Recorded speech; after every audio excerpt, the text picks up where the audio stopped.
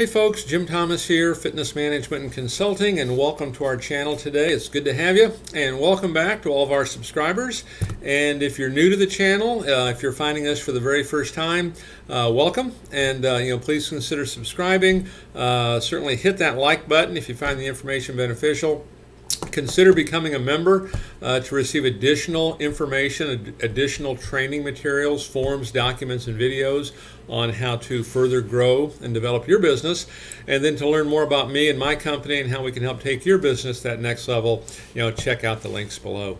Now, with all that said, you know, our topic for you today, it's 11 staff recruitment ideas for your gym.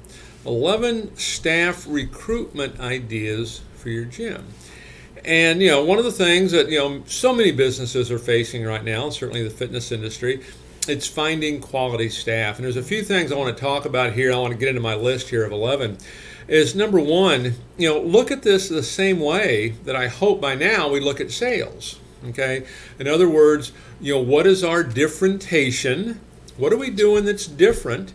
Because if we're doing the same thing as everybody else, what's that old adage? You keep doing what you're already doing, you're going to keep getting what you're already getting. I was in a um, uh, an establishment recently, and they simply had a, uh, a, pr a, printed copy that said, "We're hiring."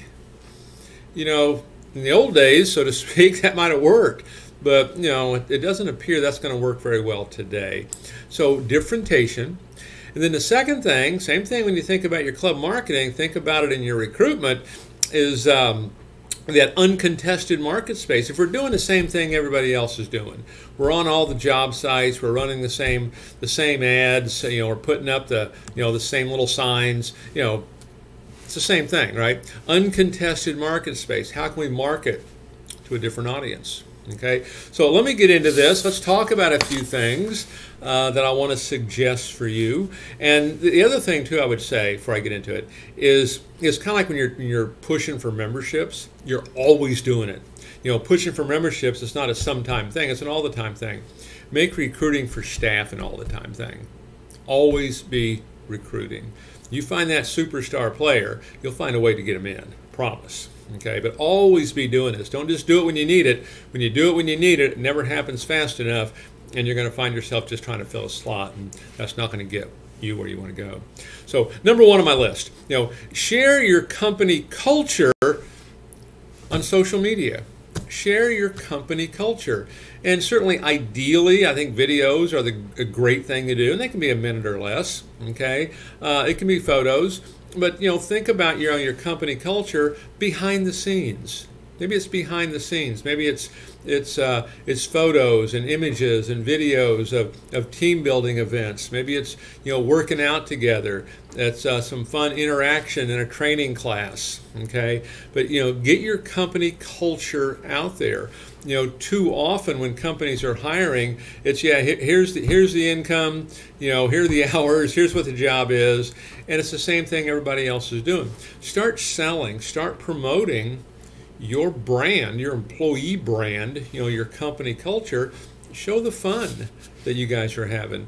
Because there's many of folks, okay, when, when they look for jobs and, and they stay at jobs even, you know, it's not always the money. You know, it's other things that can go along with that. So share your company culture on social media. My suggestion is, I think the easiest way to do that is just do behind the scenes. What's happening behind the scenes? Just having having fun things. Okay. Uh, number two, put your employees in the spotlight. Put your employees in the spotlight.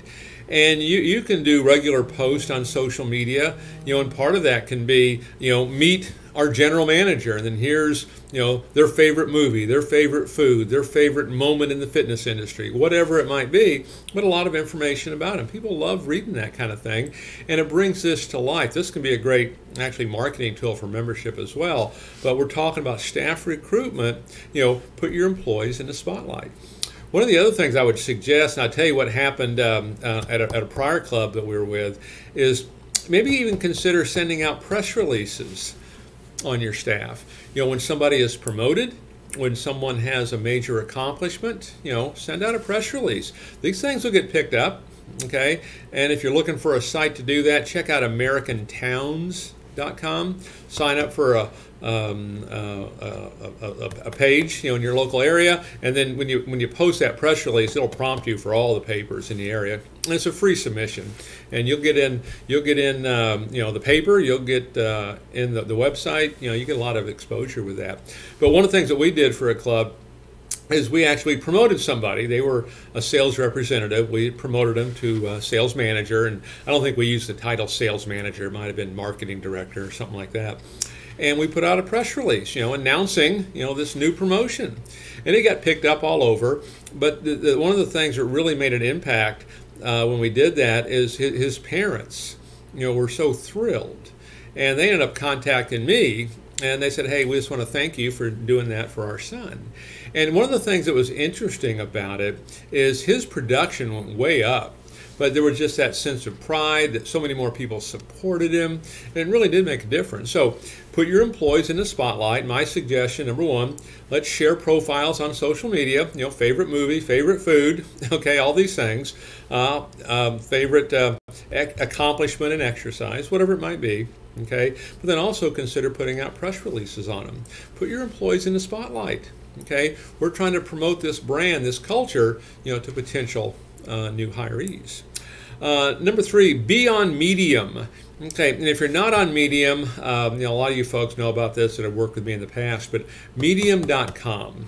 Okay, it's a free site, free site for writers, and if you're posting blogs and articles and press releases, you're a writer. And so you can go in there, log on, uh, get your account set up. And one of the great things about Medium is A, you can follow other people. And so, other writers, newspaper writers, magazine writers, bloggers, whomever you like to follow, you can follow them.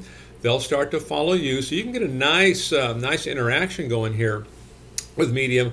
But the also, the other thing that I like about Medium a lot, Medium is really favored by the search search engines. You know, you could have something posted on Medium and have the same thing on your website.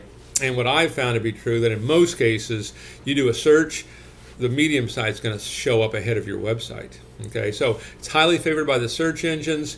It's uh, you can follow and people can follow you. It's a great way, you know, to build a, a whole brand new audience right there and promote your brand promote your staff because when you're looking for staff, one of the other mistakes that I see frequently is we're looking for staff, people that live right here, right here next to the gym. Well, they can live in another country. They can live across this country. Uh, they don't have to be right there necessarily. Okay. Um, number four, create a recruitment video. Create a recruitment video. Okay, do a video. Okay, you know, put it on. You know, put it on TikTok. Put it on Instagram. Put it on Facebook. Put it on uh, LinkedIn. You know, put it on uh, YouTube. You know, create a recruitment video okay? You know promoting your staff having all your staff talk. You know they give a testimony about oh i've worked here for five years for six years. Hey i just got started. I love it. I'm part-time and here's what i do and i love it. Okay? And here's what i'm here's what my goals are. Here's what they're helping me do. And maybe you talk about other perks and other benefits you know, of the position. And plus my family loves it because they all get a special corporate membership rate okay? They don't want me to ever leave, okay? So however you want to look at that, but create a recruitment video.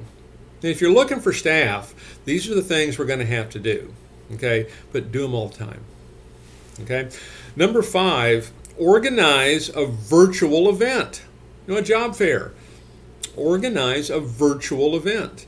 I mean, you can go on Facebook Live, Instagram Live, um, you know, YouTube Live, and have your own job fair right here. People can submit resumes, you can talk to them. Uh, there's an awful lot that you can do here. So, host a virtual event.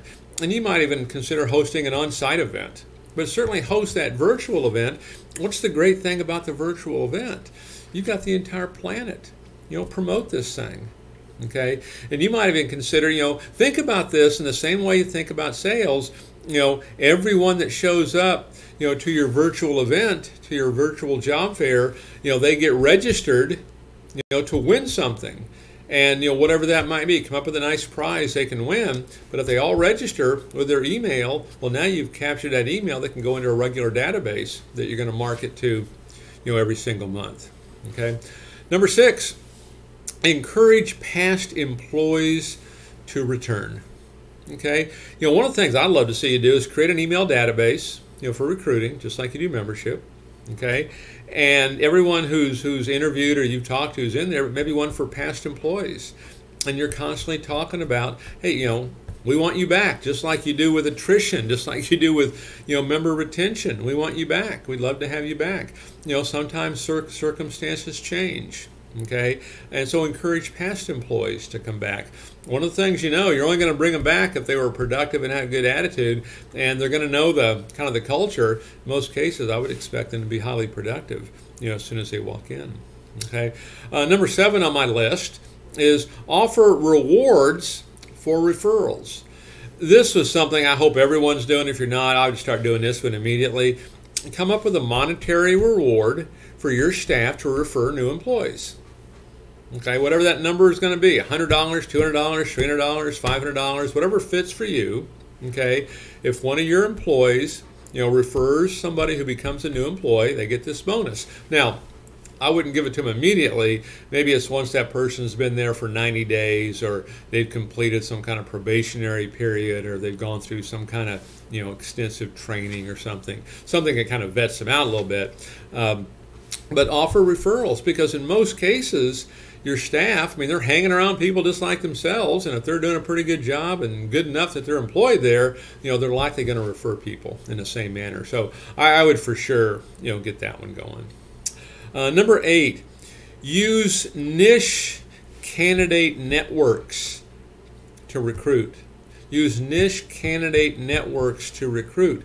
Look for these uh, these job sites for veterans, for disabled, for um, maybe uh, women that are uh, interested in re-entering the workforce okay maybe for seniors look at these niche markets there's a lot out there a lot of opportunity and even when you start thinking about uncontested market space, a lot of these folks maybe they'd rather just work from their home, you know, from the kitchen table. Maybe they can make follow-up calls. Maybe they can make retention calls. You know, we can come up with you know programs uh, and processes for them, and they could work. You know, they could be a thousand miles away from you and still work for you and help you become more productive.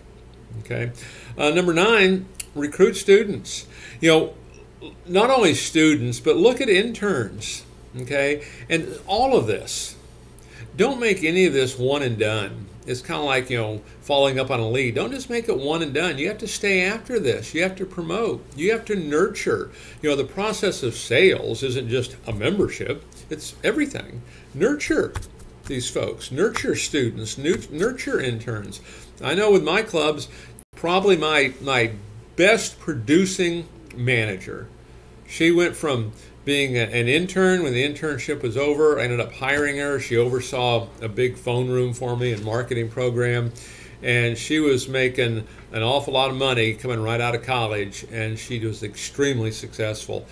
And uh, she was my best one. But she kind of got her feet wet as that intern. Okay, she learned the lay of the land, the culture, you know, what she was good at, what she needed to learn. But recruit students. Uh, Number 10, recruit volunteers. You know, this is one of the things we do all the time with grand openings, you know, particularly for groups that have maybe just one club. Because when you have one club and if you're doing a grand opening, you only have so many employees. You might need five or 10 or 15 more employees. Well, we'll look for volunteers. You know, who in our member base, who do we know, who in our network would like to volunteer to help us at this grand opening?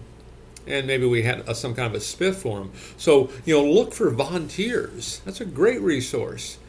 Okay, because you know, don't wait to be perfect. I need this one person that does this. No, let's let's look for uncontested market. Let's look at differentiation and how can we go after this. And then finally, hand out cards. Hand out cards to potential employees. You know, get a recruiting card. Could be your business card. But get get a recruiting card and hand it out. Hand them out every day. When you go to a restaurant, you know, you meet somebody that waits on you or works the bar. That man, they, they've got all the ingredients. Or you're on a trip and the flight attendant. Uh, I mean, these are folks that I love to hire. I love flight attendants. I love waiters and waitresses. They are fantastic for this. Okay, because they have some of the natural ingredients I think that it takes to be successful. But always be looking. You know, make it a point to hand out at least one card a day maybe get one card back every day. So 11 staff recruitment ideas for your gym. Take a look at them, whether you're brand new, whether you've been around for a while. And when you do this, treat it the same way you treat membership recruitment. We're doing it all the time. Okay, so folks, my name is Jim Thomas. My company is Fitness Management and Consulting. Uh, to learn more about me and my company and how we can help take your business to that next level, please check out those links below. And while you're here, if you've not yet done so, please subscribe, please hit the like button, and uh, please consider becoming a member to receive uh, additional information on how to grow and develop your business. And we look forward to seeing you all in that next video.